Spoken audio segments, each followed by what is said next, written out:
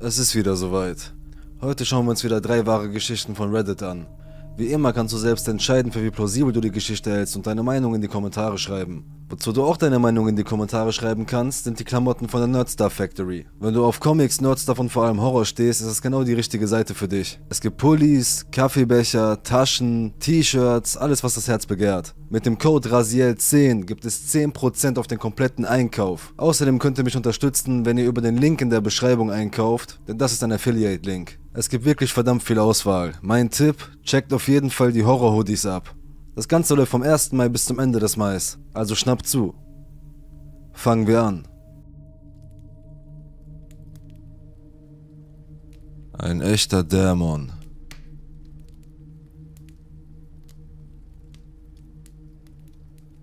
Auf Anraten meines Therapeuten habe ich das alles aufgeschrieben, um zu versuchen, meine Gefühle zu verarbeiten. Er hat mir natürlich nicht geraten, es bei Reddit einzureichen, aber ich habe lange Zeit damit zu kämpfen gehabt und muss die Meinung anderer Leute dazu hören. Ich habe immer noch keine Ahnung, wie ich mich dabei fühle, selbst nach all den Jahren, aber ich werde es der breiten Masse zur Beurteilung vorlegen. Ich weiß, dass ich in einigen Dingen falsch gehandelt habe, wahrscheinlich in vielen Dingen. Ich habe versucht, mein Bestes zu geben.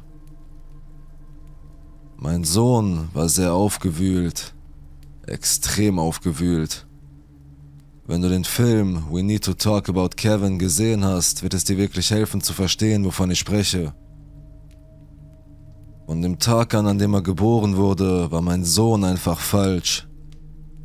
Er war geplant, meine Frau und ich versuchten schwanger zu werden und waren überglücklich, als er geboren wurde. Er wurde gewollt und geliebt. Wir haben ihn mit Zuneigung überschüttet und wirklich versucht, ihm eine glückliche Kindheit zu ermöglichen. Aber von dem Tag an, als wir ihn aus dem Krankenhaus nach Hause brachten, war er unglücklich.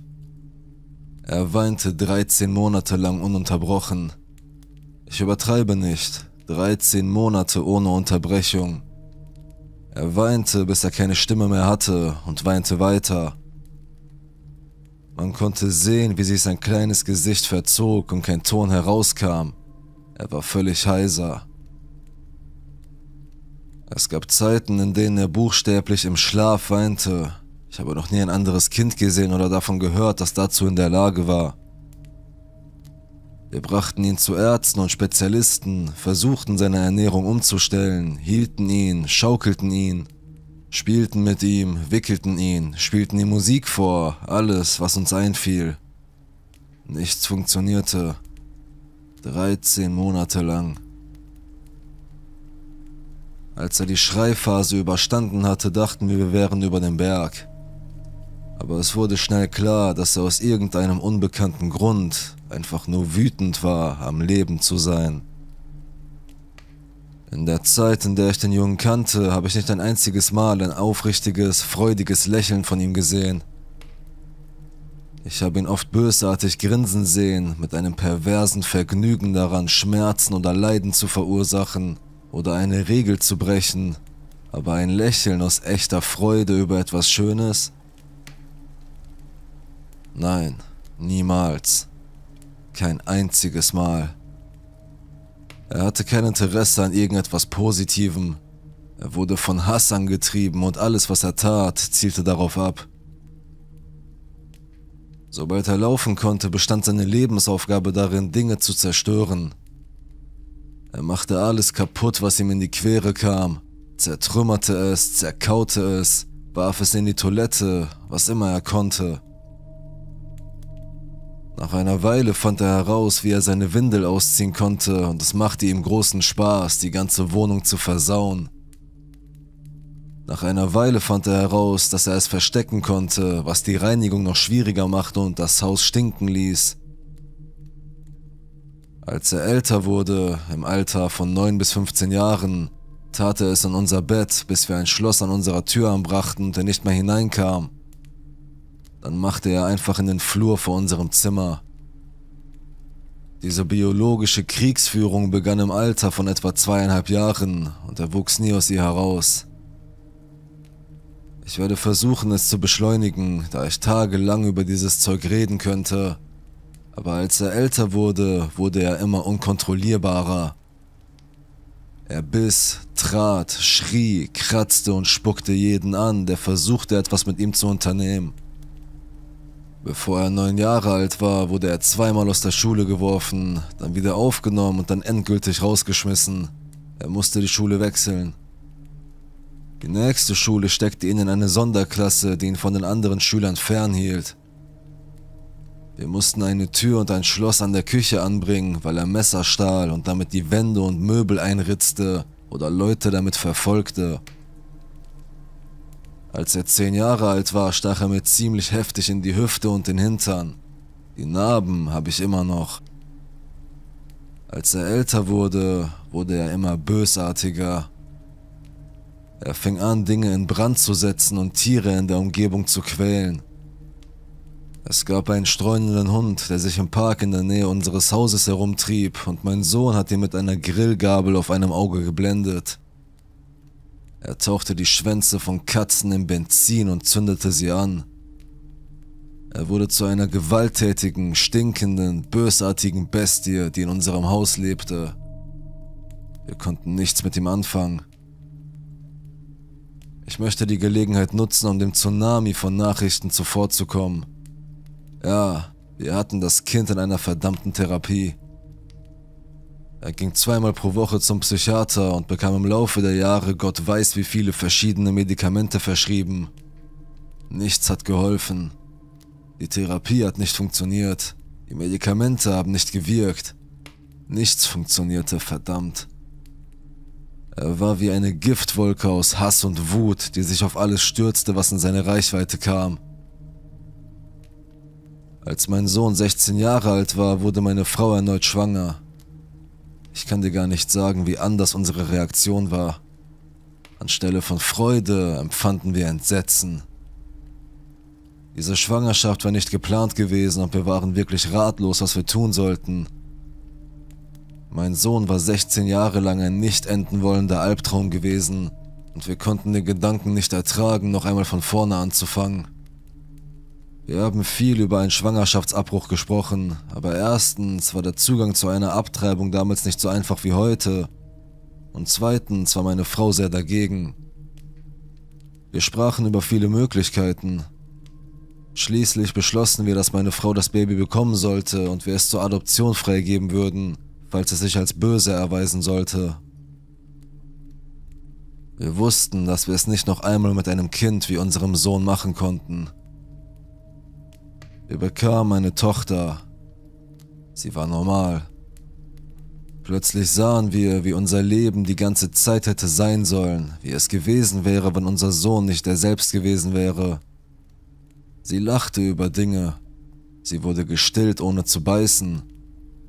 Nach vier Monaten schlief sie nachts durch. Sie war glücklich, sie war normal. Ich kann die Erleichterung und das Glück, das wir beide empfanden, nicht beschreiben. Mir fehlen die Worte dafür.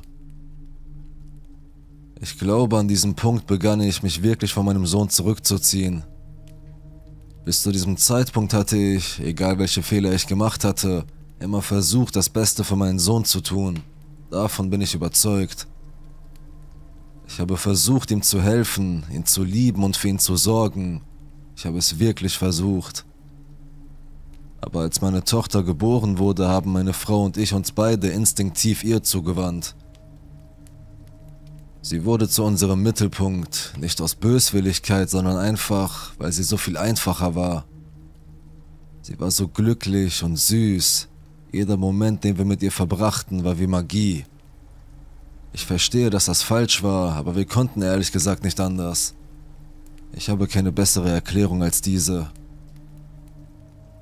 Meinem Sohn war es scheißegal, dass meine Frau schwanger war. Ich weiß ehrlich gesagt nicht, ob er es wirklich verstanden hat, aber als wir unsere Tochter nach Hause brachten, begann er sich noch mehr aufzuspielen. Ich hätte es nicht für möglich gehalten, aber er hat noch einen draufgesetzt. Zu diesem Zeitpunkt war er 17 und wir stritten uns täglich lautstark. Normalerweise stürmte er nach einem Streit aus dem Haus und verschwand stundenlang oder er kam am nächsten Morgen wieder. Es war eine Erleichterung. Ich fing an, mich auf unsere Streitereien zu freuen, weil er dann für eine Weile von uns weg war. Nach der Geburt unserer Tochter war meine Beziehung zu meinem Sohn fast völlig dahin. Wir haben uns nur noch angeschrien. Meine Frau war noch schlimmer zu ihm, sie hatte einfach nichts mehr. Wenn unser Sohn auch nur in demselben Raum wie sie kam, hörte sie mit allem auf, was sie gerade tat und schrie, hau ab, bis er ging. Er begann mehr und mehr Zeit außerhalb des Hauses zu verbringen, was für uns ein Segen war. Ich habe keine Ahnung, was er draußen in der Welt angestellt hat, aber wir waren einfach nur froh, dass es nicht uns zugefügt wurde. Als Konsequenz aus dem Verhalten unseres Sohnes hatten wir viel in Schlösser rund um unser Haus investiert. Alle billigen, dünnen Innentüren in unserem Haus wurden durch solide, dichte Holztüren ersetzt, die man nicht eintreten konnte und die mit Schlössern ausgestattet waren, zu denen meine Frau und ich Schlüssel hatten. Ich weiß, das klingt extrem, aber Schlösser und schwere Türen waren die beste Möglichkeit, die wir gefunden hatten, um uns vor ihm in Sicherheit zu bringen. Und noch einmal, bevor ich mit Nachrichten überschwemmt werde, ich habe meinen Sohn nicht wie einen Gefangenen in Zimmer eingesperrt. Er hatte freien Zugang zum Haus und konnte kommen und gehen, wie er wollte. Meine Frau und ich schlossen uns selbst in Zimmern ein, um uns vor ihm zu schützen. Wenn überhaupt, waren wir die Gefangenen in unserem eigenen Haus. An dem fraglichen Tag hatte ich mich morgens mit meinem Sohn gestritten und er hatte das Haus wütend verlassen. Meine Frau und ich genossen die Ruhe in der Küche, während unsere Tochter in unserem Schlafzimmer schlief. Und dann fing meine Tochter an zu weinen. Alle Eltern, die kleine Kinder haben, können sagen, dass man sich an das Weinen des Kindes gewöhnt und nach einer Weile weiß, was es braucht. Es weint anders, wenn es Hunger hat, gewickelt werden muss oder einfach nur unruhig ist und gehalten werden möchte. Babys können schon ziemlich gut kommunizieren, bevor sie sprechen können. Dieser Schrei war nichts von alledem. Dieser Schrei war Terror. Der Sekunde, in der wir ihn hörten, standen meine Frau und ich beide von unseren Stühlen auf und rannten ins Zimmer.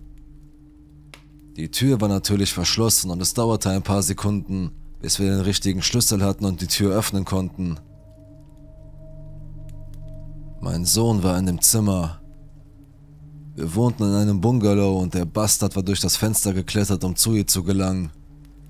Er stand über ihrem Kinderbett mit einem Steakmesser in der Hand. Ich habe keine Ahnung, woher er es hatte. Es war keines von unseren. Wir kontrollierten unsere Messer sehr sorgfältig und bewahrten sie immer in verschlossenen Schubladen auf. Ich glaube, er hat es aus einem unserer Nachbarhäuser gestohlen. Er hatte ihre Haut bereits zweimal verletzt, einmal in der Bauchgegend und einmal am Arm. Ich konnte sehen, wie Blut herunterlief. Als ich das Zimmer betrat, fuhr er mit dem Messerrücken über ihr Gesicht, ohne zu schneiden. Er kitzelte sie fast damit, neckte sie, während sie schrie. Er schaute zu uns hoch und lächelte. Bevor ich wusste, was ich tat, war er schon in Bewegung, rannte, um mich zwischen sie zu stellen. Ich habe nicht darüber nachgedacht, ich habe mich einfach instinktiv bewegt. Trotzdem war meine Frau schneller da. Es war wie ein Film im Schnelldurchlauf.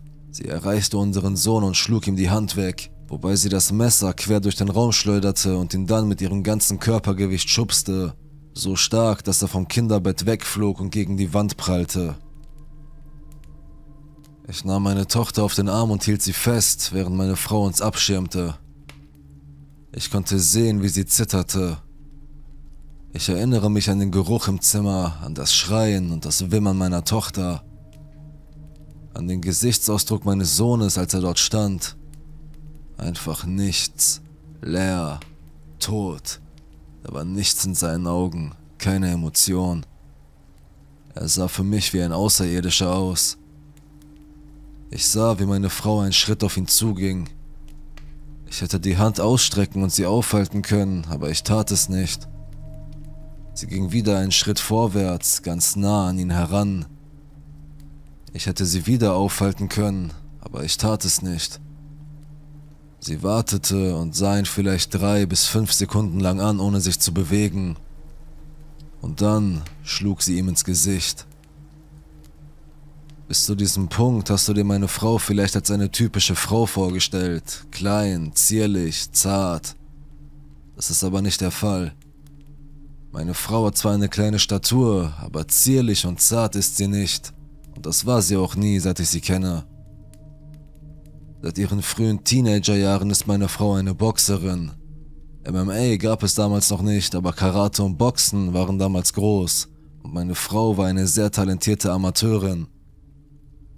Sie wog etwa 130 Pfund, hatte eine Menge Muskeln und wusste, wie man zuschlägt.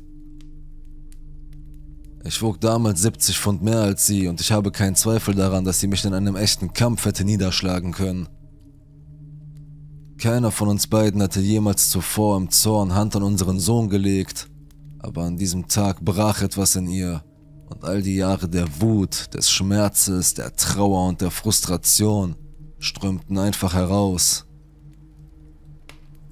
Als sie ihn schlug, riss er den Kopf zurück und Blut floss aus seiner Nase. Er reagierte kaum, er sah sie nur mit diesem schockierten Gesichtsausdruck an, als wüsste er nicht, wie er verarbeiten sollte, was gerade passiert war. Sie wartete noch eine Sekunde und dann schlug sie ihn erneut. Ich hätte die Hand ausstrecken und sie aufhalten können. Ich hätte sie aus dem Zimmer zerren, sie wegbringen, sie beruhigen können. Aber ich tat es nicht. Ich stand nur da und sah zu, wie sie ihn systematisch zu Brei schlug. Jedes Mal, wenn er seine Hände auf eine Stelle legte, schlug sie auf eine andere ein. Körper, Kopf, Körper, Kopf. Immer und immer wieder. Er fing an zu schreien, zu schreien, sie solle aufhören. Das war die echteste Reaktion, die ich je in seinem Leben bei ihm gesehen habe.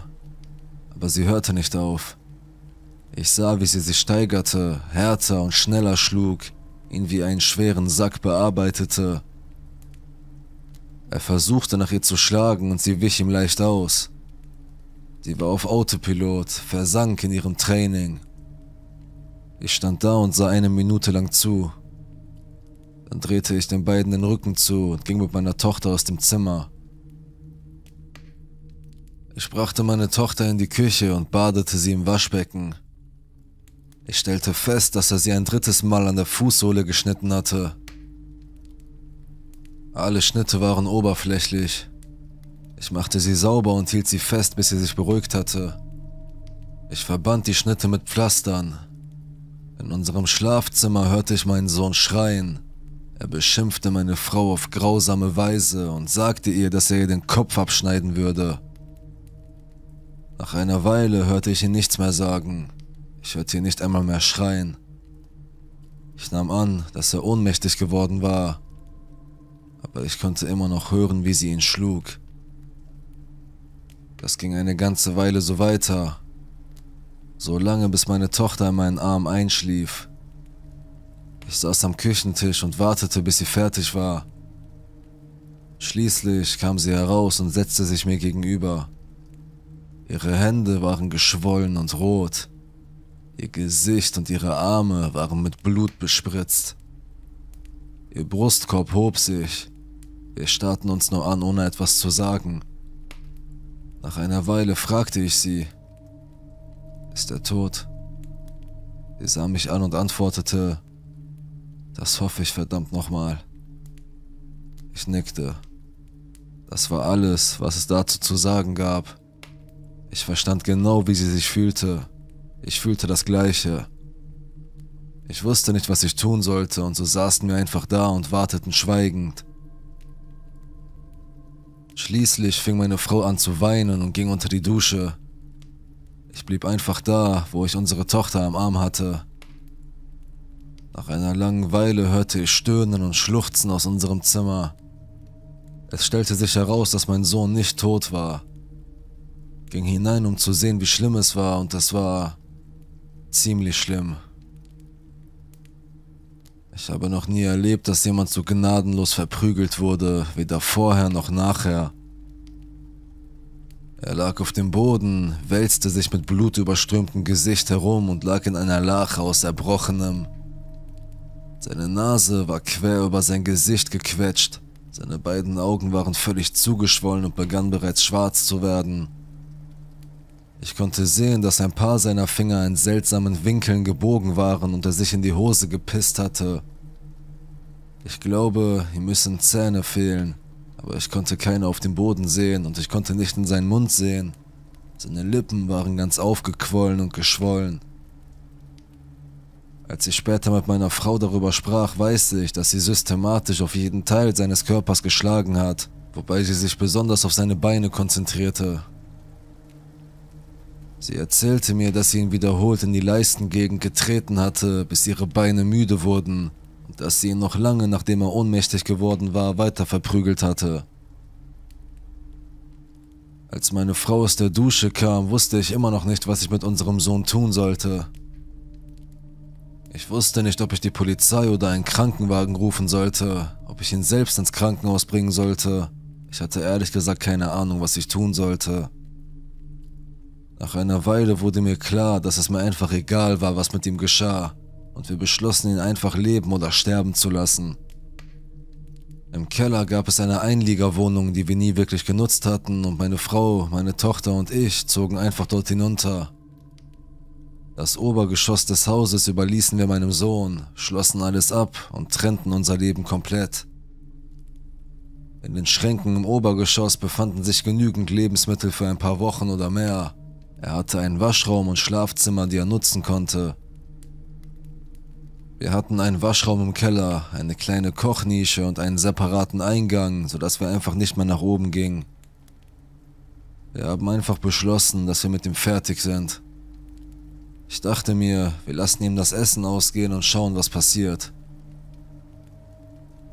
In der nächsten Woche konnten wir ihn manchmal oben herumlaufen hören. Ich glaube, er lag die meiste Zeit im Bett und erholte sich. Ich ging zur Arbeit und war in höchster Alarmbereitschaft, falls er mich in der Einfahrt angreifen würde, aber das tat er nicht. Meine Frau blieb mit unserer Tochter zu Hause. Wir ließen sie nie aus den Augen. Eines Nachts hörten wir, wie er ausrastete, Dinge zerschlug und schlug. Wir haben nicht darauf reagiert. Er hat aber nie versucht, die Treppe hinunterzugehen oder sich uns zu nähern. Ich glaube, er hatte Angst, dass meine Frau ihm den Garaus machen würde, wenn er sich uns wieder näherte. Nachdem wir drei Wochen im Keller verbracht hatten, hörten wir einige Tage lang nichts mehr von oben, und ich wagte mich nach oben in das Hauptgeschoss des Hauses. Das Haus war demoliert und von meinem Sohn fehlte jede Spur. Er war verschwunden. Es dauerte Monate, um den Schaden, den er angerichtet hatte, zu beheben und das Hauptgeschoss wieder in Ordnung zu bringen. Überall an den Wänden war Essen und Exkremente verschmiert, auf dem Boden lagen Glasscherben, große Löcher in den Trockenbauwänden. Er hatte das Haus auseinandergerissen er hatte das Linoleum in einer Ecke der Küche zerrissen und einen ganzen Schaumfeuerlöscher ins Wohnzimmer entleert. Ich bin dankbar, dass er das Haus nicht mit uns darin niedergebrannt hat. Ich bin mir ehrlich gesagt nicht sicher, warum er es nicht getan hat. Der Junge hatte keine Scheu, Dinge in Brand zu stecken. Danach lebte ich jeden Tag in Angst, dass er zurückkommen würde, dass er uns aus heiterem Himmel überfallen und versuchen würde, uns zu töten. Etwa drei Jahre später zogen wir um und ich hatte endlich keine Angst mehr, dass er wieder auftauchen würde. Denn jetzt wusste er nicht mehr, wo wir waren. Ich fühlte mich endlich sicher vor ihm. All das ist schon lange her. Mein Sohn wurde im Frühjahr 1971 geboren, meine Tochter kam 88 zur Welt. Ich bin jetzt ein alter Mann, ich werde dieses Jahr 70 Jahre alt und meine Frau ist 2016 an Krebs gestorben. Meine Tochter ist jetzt 31, ich bin mit ihr und ihrem Mann zusammengezogen, nachdem meine Frau gestorben war. Ich habe zwei Enkeltöchter und sie sind die Freude meines Lebens. Ich gehe ein paar Mal im Monat zu einem Therapeuten, um über all das zu sprechen. Ich weiß nicht, wo mein Sohn ist. Das letzte Mal, als ich ihn sah, lag er blutend und zerschlagen auf dem Boden unseres Schlafzimmers. Ich habe nichts mehr von ihm gehört, seit er weggegangen ist. Mehr als 30 Jahre lang. Das will ich auch gar nicht. Ich trage eine Menge Schuldgefühle aus dieser Zeit mit mir herum und eine Menge widersprüchlicher Gefühle. Ich habe ihn selbst nicht geschlagen, aber ich habe zugelassen, dass er geschlagen wurde und ich dachte, er hätte es verdient. Ich war froh, dass es passiert ist. Ich habe nicht versucht, ihn zu töten, aber ich wäre froh gewesen, wenn er gestorben wäre. Ich hoffe, dass er seine Dämonen überwinden konnte und irgendwo ein normales Leben führen kann. Wenn er dazu nicht in der Lage war, wenn er so blieb, wie er war, dann hoffe ich wirklich, dass ihn jemand da draußen getötet hat. Als ich ihn kannte, war er ein tollwütiger Hund. Und egal wie es ausgegangen ist, ich hoffe nur, dass er nicht mehr da draußen ist und noch jemandem wehtut. Geisterwolf.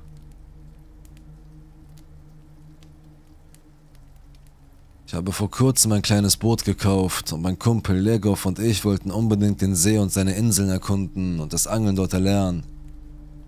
Wir sind neu in Tennessee Gestern am 4. Juli beschlossen wir in diesem sehr abgelegenen Teil des Sees zu angeln, den wir wegen der niedrigen Hängebrücke die Bootsfahrer daran hindert, den Abschnitt zu befahren, Niemandsland genannt haben. Mein Boot kann darunter durchfahren, weil es so klein ist, aber ich habe noch nie ein anderes Boot dort gesehen. Wir beschlossen, tiefer in die Bucht hineinzufahren, als wir es je zuvor getan haben. Während wir langsam den See hinuntertrieben, teilte sich der Weg vor uns in drei Abzweigungen und ich fragte, welche wir nehmen sollten. Legov sagte sofort, die mittlere, und so fuhren wir geradeaus weiter, während das Wasser von einem großen See in einen schmalen, flussähnlichen Weg überging. Hier ereignete sich eine Kette von Ereignissen in schneller Folge, die wir im Nachhinein durchgesprochen haben, um uns an die Reihenfolge zu erinnern, in der sie ablief. Zuerst hörten wir ein seltsames, stimmähnliches Geräusch, das aus dem Wald jenseits des Ufers kam, und wir spannten uns beide an und fühlten uns sehr unwohl. Was war das? fragte Legov. Ein Hund, sagte ich, denn das war das Erste, was mir einfiel. Ich glaube nicht, dass das ein Hund war, antwortete Legov sofort. Dann sahen wir einen Vogel hoch über uns auf einem Ast hocken und uns anstarren. Vielleicht war es dieser Vogel, sagte Legov. Ja, vielleicht, antwortete ich. Ich bin mir nicht sicher, wann genau es war, aber irgendwann zog ich meine Pistole und hielt sie an meine Seite. Wir hatten beide ein sehr seltsames Gefühl, als wir den Fluss hinuntertrieben, die Augen auf das Ufer gerichtet. Wir kamen zu einer verrottenden Kiefer, die umgestürzt war und nun halb unter Wasser am Ufer stand. Dann geschah es. Wir hörten ein sehr lautes, schwerfüßiges Tier, das durch den Wald lief und sich dem Wasser näherte. Zuerst dachte ich, es sei ein Reh, denn es tänzelte fast, aber als es näher kam und lauter wurde, merkten wir beide, dass es tatsächlich kein Reh war. Es war ein sehr großes, tiefschwarzes Hundewesen. Mein Gehirn dachte, oh, das muss ein Kojote sein, aber er war viel größer, wie ein riesiger deutscher Schäferhund und er war schnell. Wie ein schwarzer Schatten sprang er durch die Bäume und näherte sich rasch dem Ufer, über das wir fuhren. Es schien jedoch keine Textur und keine Details zu haben, fast so, als wäre es flach und unscharf. Wir konnten kein Fell, kein Gesicht und keine Augen sehen, nur die Umrisse des Körpers und große, wolfsähnliche Ohren. Aber es war offensichtlich der Körper eines Hundes. Adrenalin schoss durch uns hindurch und mein Gehirn raste bei dem Gedanken, dass wir uns verteidigen müssten. Es sah fast so aus, als würde es auf uns zustürmen, aber es bewegte sich im Zickzack und wich zwischen den Bäumen hindurch genau auf den Teil des Ufers zu, an dem wir vorbeischwammen. Wir hatten Angst, aber die 15 Fuß Wasser zwischen unserem Boot und dem Ufer gaben uns etwas Zuversicht. Er würde zu uns hinausschwimmen müssen und das hielt ich nicht für wahrscheinlich. Er hüpfte weiter durch den Wald und erreichte bald unseren Teil des Ufers. Mit einer majestätischen, fließenden Bewegung sprang er vom Ufer weg und tauchte direkt unter der halb untergetauchten Kiefer vor uns ins Wasser. Das war's. Wir hielten den Atem an und warteten darauf, dass er schwamm oder sich auf uns zubewegte.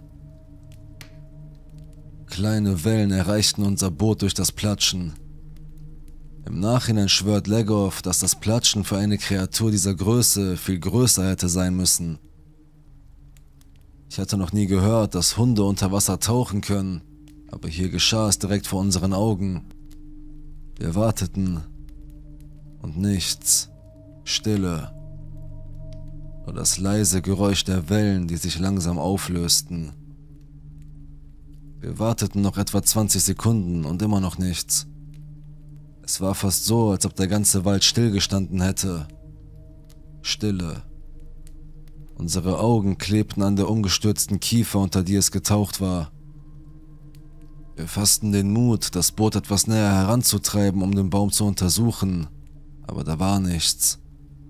Keine Spur von irgendetwas. Zu diesem Zeitpunkt standen wir völlig unter Schock. Fassungslos. Er war weg. Wie konnte er weg sein? Wie konnte etwas so Großes einfach verschwinden, vor allem eine so riesige Kreatur? Nach weiteren 30 Sekunden des Schweigens durchbrach Legov die Stille mit. Du, du hast gesehen, was ich gesehen habe, oder? Ein Schauer lief mir über den Rücken. Alles, antwortete ich. Aber wirklich, was zum Teufel war das? sagte Legov. Ich antwortete, ich glaube, wir haben einen Dämon gesehen und wir lachten beide nervös. Wir trieben noch mindestens zehn Minuten lang geschockt in der Nähe des Ufers und hofften auf ein Zeichen, dass wir nicht verrückt waren. Legov suchte das Wasser ab, um zu sehen, ob er nach Luft schnappen würde. Er tat es nicht. Wie zum Teufel konnte sich eine große, schwarze, wolfsähnliche Kreatur in Luft auflösen oder gar im Wasser verschwinden. Der Knast. Mit 19 Jahren wurde ich als Justizvollzugsbeamter eingestellt, einer der jüngsten, die es damals gab, und arbeitete im gefährlichsten Gefängnis Australiens. Ich hatte dort 40 Jahre lang gearbeitet, sieben Tage die Woche, zwölf Stunden Schichten. Das hört sich zwar nach einer ziemlich entspannten Tätigkeit an, nach leichtem Geld, aber der Tribut, den es für den Geist bedeutet, ist unvorstellbar. Es gab gute Zeiten, in denen die Männer, mit denen ich gearbeitet habe, sich verbessert und etwas aus ihrem Leben gemacht haben, aber ich habe alles Mögliche gesehen. Von Hofschlägereien bis hin zum Mord und Selbstmord, aber nichts davon ist mir in meiner Zeit dort geblieben. Das sollte man meinen, aber nein, das Einzige, was mir während meiner Zeit dort in Erinnerung geblieben ist, war eine kurzlebige und übernatürliche Erfahrung. Während dieses Erlebnisses wurde kein einziger Tropfen Blut vergossen, und doch war es eines der schrecklichsten und anschaulichsten Dinge, die ich je erlebt habe. Es war eine Nachtschicht, die um 19 Uhr begann und um 7 Uhr endete. Wir machten sehr selten Nachtschichten und dies war meine erste seit Abschluss meiner Ausbildung. Die Belegschaft, die normalerweise aus 200 Personen bestand, war um 22 Uhr auf etwa 30 Personen geschrumpft. Wir wurden nicht allein gelassen, sondern machten in der Regel jede Stunde oder so eine eigene Runde. Ich war vorbereitet und bereit, die Nacht zu übernehmen, und da ich der Jüngste im Team und vermutlich auch der Naivste war, wurde ich immer wieder leicht gehänselt. Du wirst bis zum Ende der Nacht auf 60 Jahre gealtert sein. Nimm dich vor den Verrückten der Nacht in Acht. Der Beginn der Schicht war ruhig, fast friedlich, keine Probleme, keine seltsamen Erschütterungen in der Nacht. Die Häftlinge waren ruhig, schliefen tief und fest in ihren Zellen. Es war wahrscheinlich gegen 4 Uhr morgens und die Müdigkeit machte sich bemerkbar, als ich aus dem Augenwinkel sah, wie sich die Gestalt vor der Abteilung bewegte. Zu diesem Zeitpunkt hatte ich es einfach als Schlafmangel abgetan, während die anderen Mitarbeiter ihre Runde machten. Als ich jedoch sah, wie sich die Gestalt wieder dorthin zurückbewegte, von wo aus sie sich zuerst bewegt hatte, begannen meine Alarmglocken zu läuten, und zwar ganz leise. Ich drehte mich in meinem Stuhl zu den Fenstern, die auf den Hof hinausgingen, und richtete meine Augen auf die Stelle, zu der ich die Gestalt gehen sah, und versuchte durch die Dunkelheit zu spähen. Ich sah es, nur ein Schatten, aber da war etwas. Normalerweise sollten wir, wenn wir etwas Seltsames sahen, es per Funk melden, falls es ein verirrter Insasse war. Aber dies war keine menschliche Gestalt, also hielt ich es für ein Tier, was, so groß wie es war, sehr unwahrscheinlich war. Dies war ein Hochsicherheitsgefängnis, da sollte nichts reinkommen, was größer als eine Ratte war. Mein müdes Gehirn brauchte länger als es sollte, um diese Information zu verarbeiten. Die Alarmglocken, die kurz zuvor noch leise geflüstert hatten, dass etwas nicht in Ordnung sein könnte, schrillten nun. Mein nun müder Geist und Körper waren wach, jeder Nerv brannte, bereit etwas zu unternehmen. Ich beugte mich zur Schalltafel und schaltete das Außenlicht ein. Doch nichts. Nichts war zu sehen. Nur ich und mein peinlich angestrengtes Atmen erfüllten das Gerät. Mein Funkgerät knisterte. Meine Vorgesetzte hatte gesehen, wie das Licht in der Einheit, in der sie gerade Visite machte, eingeschaltet wurde. Sie lachte zurück und sagte etwas, das mir den Angstschweiß auf die Stirn trieb. Wir haben gesagt, du sollst dich vor den Verrückten in der Nacht in Acht nehmen. Es ist eine einsame Zeit und die Verrückten sind heute Nacht sehr lebendig. Ein Satz, der eigentlich keinen Sinn ergibt, es sei denn, Verrückte wäre ein beschreibendes Wort für jemanden oder der Name von etwas. Ich schob es darauf, dass sie und das Team versuchten, den buchstäblich Neuen im Viertel zu erschrecken, aber etwas in mir sagte, dass etwas nicht stimmte. Ich hatte eine halbe Stunde verdorbenen Frieden vor der nächsten Begegnung mit diesem Schatten nur, dass er dieses Mal nicht draußen war. Es hatte mit einem einfachen, leisen Klopfen begonnen. Vielleicht war es der Wind, aber es kam von drinnen. Da war vielleicht einer der Insassen wach und langweilte sich. Tagsüber verursachten die Insassen, wenn sie in ihren Zellen eingesperrt waren, ein Chaos, das von Klopfen über Klopfen bis hin zum markerschütternden Schreien reichte. Nach ein paar Minuten des Nachdenkens kam es aus einer der unbesetzten Zellen. Ich war zu diesem Zeitpunkt immer noch allein, aber meine Partner in der Einheit sollten bald zurückkommen, nachdem sie ihre Runde beendet hatten.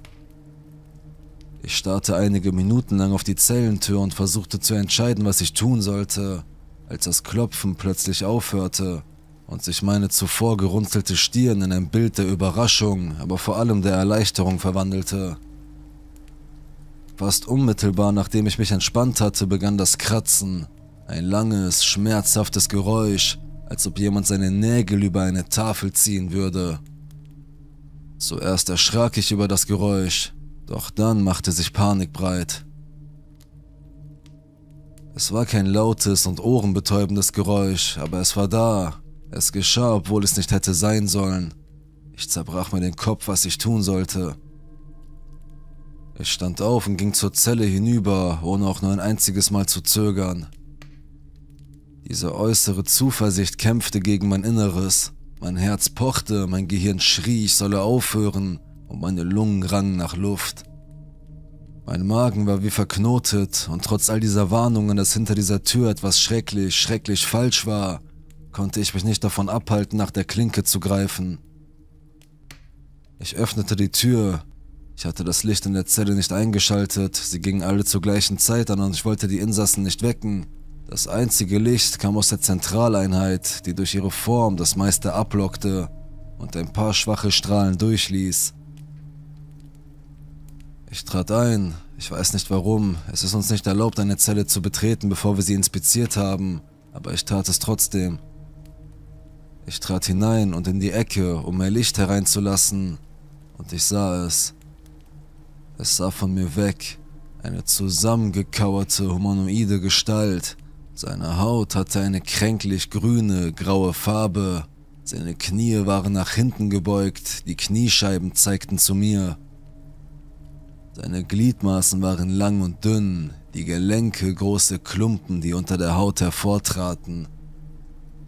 Es beachtete mich nicht einmal. Es hob nur seine langen Arme über den Kopf legte die Spitzen seiner grotesken Finger an die Betonwand der Zelle und zog sie ganz langsam nach unten. Ich hatte bis zu diesem Zeitpunkt geschwiegen. Die Finger waren auf halbem Weg nach unten, als ich einen kleinen Keuchlaut von mir gab. Es hielt inne, nur für eine Sekunde. Dann begann es aufzustehen, seine perversen Knie knackten dabei. Ich war wie erstarrt. Sein Kopf saß auf einem gefährlich langen Hals, der fast so lang war wie sein wahnsinniger Körper. Er musste sich bücken, um nicht mit dem Kopf gegen die Decke zu stoßen. Dann begann er sich umzudrehen. Aber kurz bevor ich sein Gesicht sehen konnte, wurde der Raum schwarz. Die Tür hatte sich geschlossen und ich sagte schreiend zu Boden, was sich wie Stunden anfühlte, in Wirklichkeit aber nur 30 Sekunden dauerte, wie mein Partner in der Einheit feststellte, der gerannt war, um die Zellentür zu öffnen. Ich wurde an diesem Tag früher nach Hause geschickt. Ich erwartete etwas darüber zu hören, wenn ich wieder zur Arbeit ging, aber da war nichts. Nicht einmal leichtfertige Hänseleien. Es war, als wäre nie etwas passiert. Einige Monate nach dem Ereignis, als ich mich endlich wieder in eine normale Routine eingelebt hatte, stellte ich Nachforschungen über das Gefängnis an. Viele alte australische Gefängnisse hatten eine schlimme Vergangenheit voller Folter, dieses Gefängnis war damals berüchtigt für Misshandlungen, Folter, Hinrichtungen und Unruhen. Ich wünschte, ich hätte die Geschichte des Knasts, in dem ich arbeitete, nicht recherchiert, denn bis zu diesem Zeitpunkt hatte ich mir eingeredet, dass ich einfach nur unter Schlafmangel litt, obwohl das nicht erklärt, warum sich die Zellentür schloss und verriegelte. Die Nachforschungen brachten größtenteils nichts allzu Erschreckendes zutage, nur die typische grafische und grausame Geschichte der australischen Kneste. Er hat sich in den letzten 40 Jahren in mein Gedächtnis eingebrannt.